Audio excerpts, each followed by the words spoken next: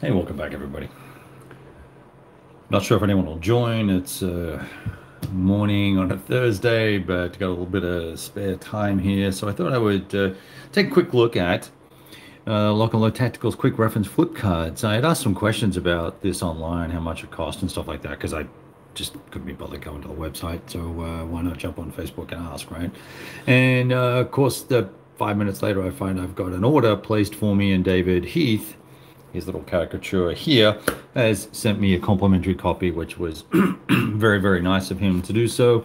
So I thought I'd take us through this real quickly and, and you know, let's spend five or 10 minutes to have a look at these flip cards because, uh, you know, there was obviously I had a lot of comments about the 5.1 rules, uh, the, the, the three big uh, changes and all the updates and all the rest of it and the timing of that update. And obviously some uh, for some reason some folks took it away that I was unhappy with the 5.1 rules. I wasn't unhappy with the rules. I just was questioning the timing and uh, I didn't was not a super fan of the three changes that were made.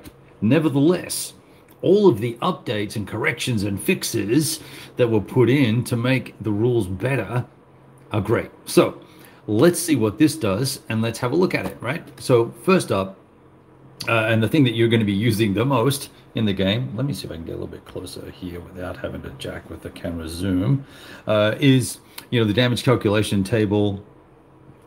So if uh, you don't like doing math, you can look at your attack modifiers and uh, the defender's modified result, and you'll see what sort of damage check you're going to need to uh, have to calculate there for yourself. And little, let me put some lights on. It's kind of dark in here, isn't it? Does this make a difference? Whoa, hey now, look at that bad boy. All right, let's get some light up there. All right, that's better. now I can see what's going on.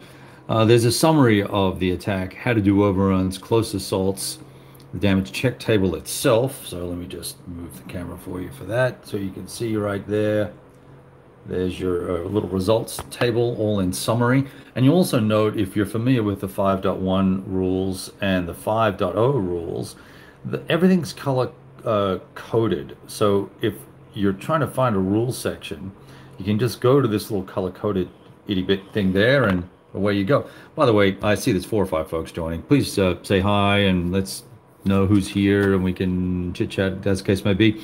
Explains what shaken is, explains what abandoned, damaged, and destroyed is, which is exactly, uh, I'm assuming I haven't compared the two, but exactly the same as what is on uh, the the primary charts that come in the game uh, or in the rule book, etc. So the DFT mods. Now this will probably follow, by the looks of it, it does. Hey man, good to see you guys. What's going on? Um, Rough Swordsman, there he is. Look at that guy. Uh, so if anyone who hasn't seen his channel, you should check it out. He's got a great channel and great write-ups as well. Um, and Jonathan, good to see you, buddy. Uh, so direct fire, this should map to the new uh, format that came in 5.1, which I think if you go see my video on that, uh, is excellent. And then the ordnance modifiers, every modifier, not most of the modifiers, but all of the modifiers are included in the tables here, which is great.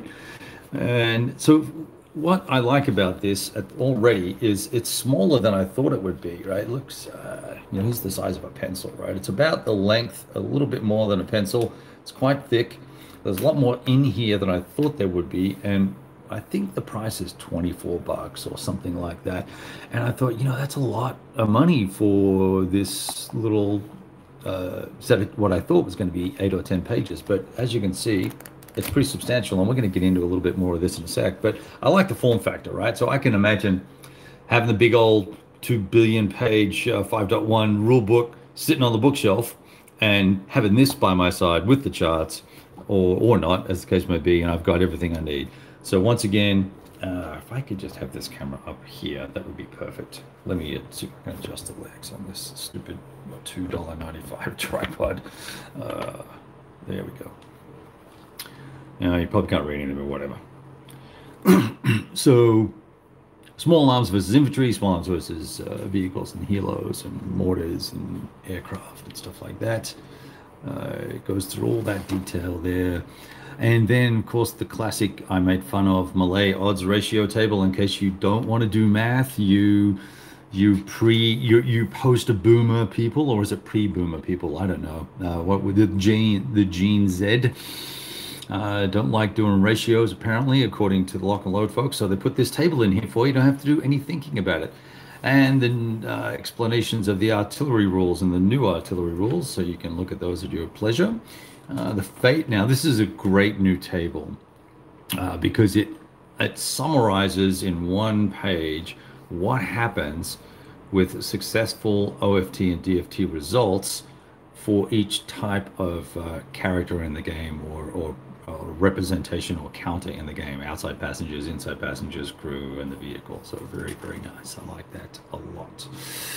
Portage costs all sorts of bits and pieces. So, there's some optional rule stuff in here. Thermal imaging, which is nice optional rules that you can use for the modern stuff if you want to. Let me have a little sip of tea here. Hmm. Hot. Hot.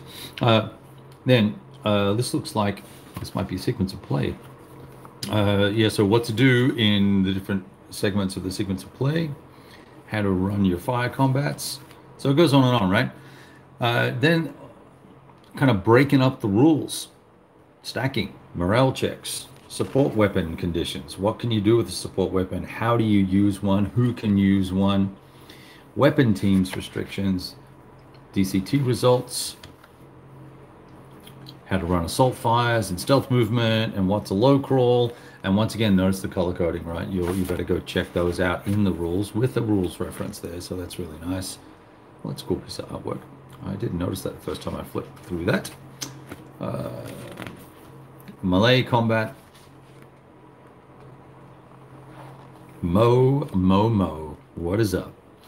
And spotting, how to do spotting attempts. There we go. Really like this little set of tables. It's great.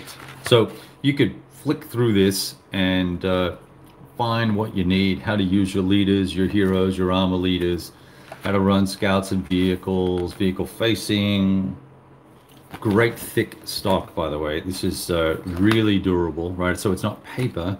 It's got a thick kind of cardboard stock to it, and it's got a little shiny uh, gloss, semi-gloss finish. Uh, mounting, dismounting. This is really good. This is so well done, so excellently well produced. Uh, I like this little coloring on the side here too. That's nice. Little artistic effort there. Good job, fellas. Helos, how to manage them, how to run them, the modes, the firing, the passengers. This is great. And then, of course, the terrain uh, uh, bits, you know, bunkers and foxholes and stuff like that. Vehicle emplacements. and then I'll then a run through on all the counters, just in case you go, ah, you know, what is that number again? Uh, if you're new to the game, this is awesome, right? What does that red bar mean? What is uh, what does the yellow box around my unit mean? Oh, that's right, it's stealth. Damn, got that action with the rules reference as well. I need to talk to them about getting my frigging counter in here, like bro, because there's not just this knucklehead on the front. I also have a. Uh, I think I'm into the French Foreign Legion or something stupid like that. Uh, gotta get my I gotta get my my face inside the rule book.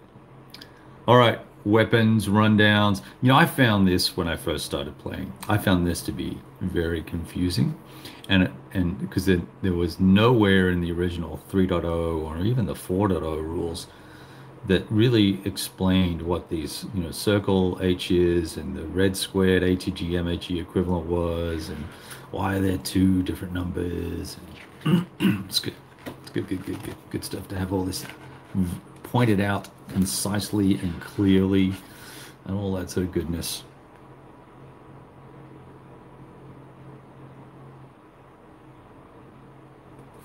Uh, okay, let me see.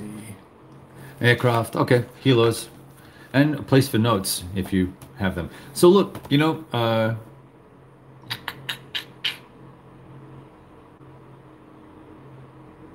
Okay, I like that. Very cool. Yeah, lock and load. Uh, that's a really good point, Mr. Two Six Two.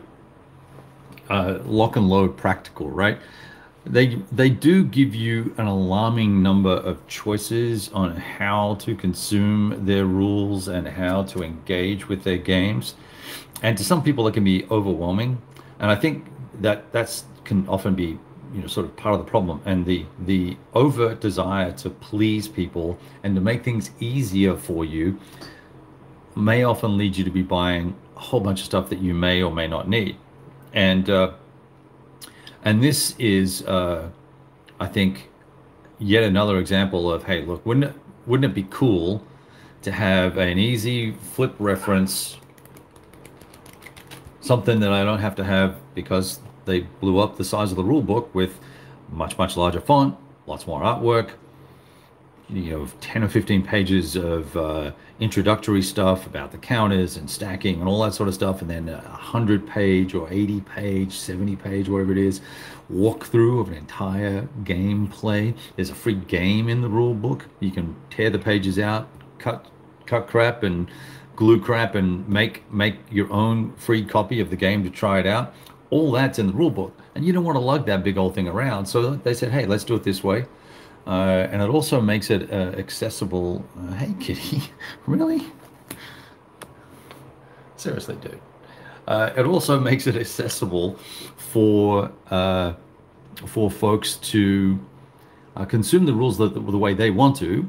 And if you're playing the PC games that they have or the digital games they have, and you don't want to buy a whole module, you can just buy the rule book and have a physical copy, or just download the PDF and then of course you can uh, also play on the all the tabletop simulators and whatnot and just buy the scenarios without buying the games. So i think it's a great way to provide a whole different range of uh, ways to consume things. So very very cool. All right look that's all i really had. Just 10 12 minutes. Wanted to show you uh, show you this. Uh, really enjoyed it and very much appreciate you sending that to me david. Uh, was uh, well done.